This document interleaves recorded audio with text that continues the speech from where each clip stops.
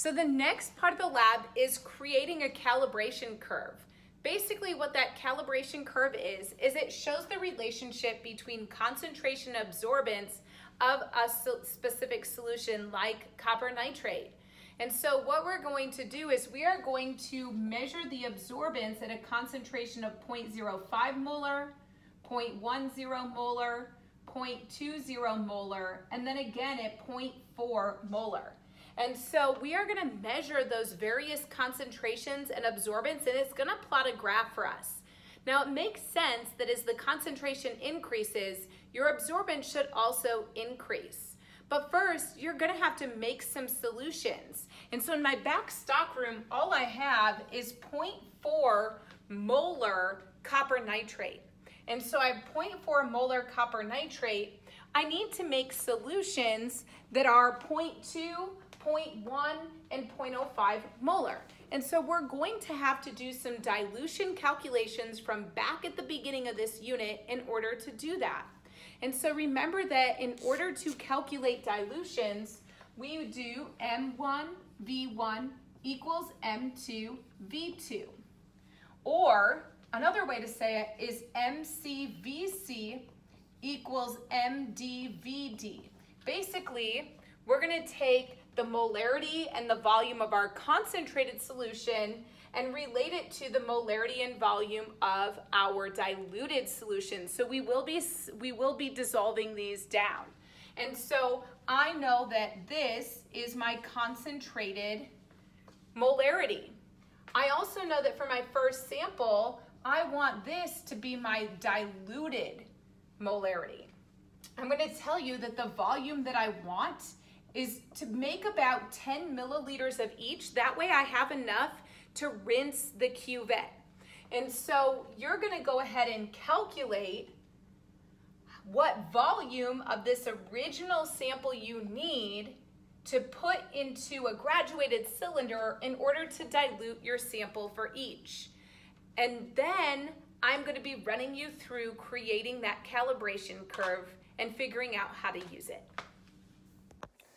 All right, so I did my calculations. I've measured out the amounts of my concentrated that I need to put within each solution. And then all I need to do now is add water up to the 10 milliliter mark and mix these and I will have the concentrations that I need. And so I am going to go ahead and pour in my water, getting it up to the 10 milliliter mark to fully dilute. And then I wanna show you something kind of neat that a lot of people forget to do, and that is, notice that, that each one of these samples has a darker bottom than it does on the top.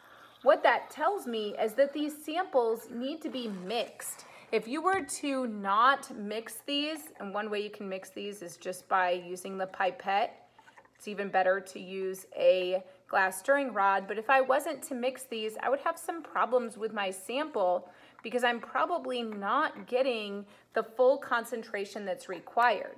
So now we're gonna go ahead and do our calibration curves. So on my iPad, I'm gonna select the wavelength of 720 nanometers. So I'm gonna select the wavelength. I have to get it recording. I'm gonna select the wavelength of 720 nanometers in order to analyze my solution. And so the first thing it asks me to do is to calibrate. And so I am going to put some just blank water in here. It's Again, it's just like putting the weigh boat on the scale to, so that all the light that passes through becomes like zero on the scale. And so I get my water in here and I place the blank cuvette in the device and I'm going to calibrate it, essentially hitting tare on my spectrophotometer. So now what I'm gonna do is I am going to create a calibration curve. I am going to start with just water as a measurement because when it's only water, I should have an absorbance of zero um, because I'm setting this even to zero. And so let me move my phone. Okay, and so what I'm gonna do is I'm going to hit collect and hit keep.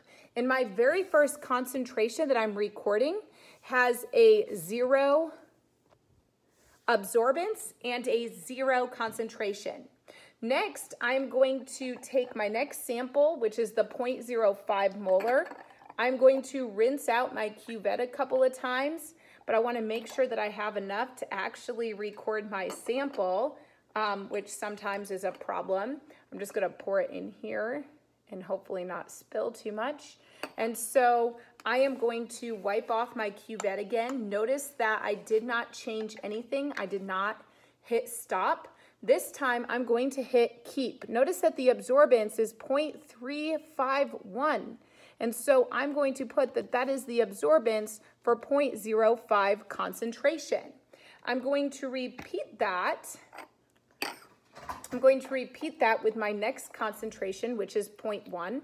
I'm going to rinse, I'm going to rinse, and then I am going to pour, and then I'm going to wipe all my potential fingerprints off of here, and I'm going to put it into my spectrophotometer. Notice I now have an absorbance of 0.425, oh, 0.965, and I'm going to hit keep. That is my 0.1 molar concentration. And then I'm going to repeat this with my 0.2 molar. So I rinse, I rinse, I pour. See, I've just done this for a while. This would take you guys a lot longer, I think. Maybe not. I place it in my spectrophotometer after I wipe, and I get an absorbance that reads 1.799. Whoa, that's super high. I'm gonna hit keep, that is my 0.2 molar. And then the very last one that I am going to do is my 0.4 molar. I'm gonna get it right out of the stock bottle because I didn't have to dilute it. I rinse, rinse, I fill, I put it, oh, I gotta wipe it. I wipe, I put it in here. I wait for it to read the absorbance. I hit keep, and that is my 0.4 molar. So I notice right off the bat that I don't have exactly a straight line. Notice that that last peak is a little bit lower than it should be. I would expect the absorbance to be slightly higher for that last peak, but we can still use this data the way it is. I'm gonna hit stop. Now, one of the things that could happen, if you notice the first three points are in a pretty straight line, that 0.4 reading seems just a little bit low. It could be an error on the behalf of this actual device, or it could be that my copper, my copper nitrate concentration is just slightly lower than it should have been. But the most likely reason is that I did not put, uh, that I put slightly too much of the original stock when I was measuring out my solution.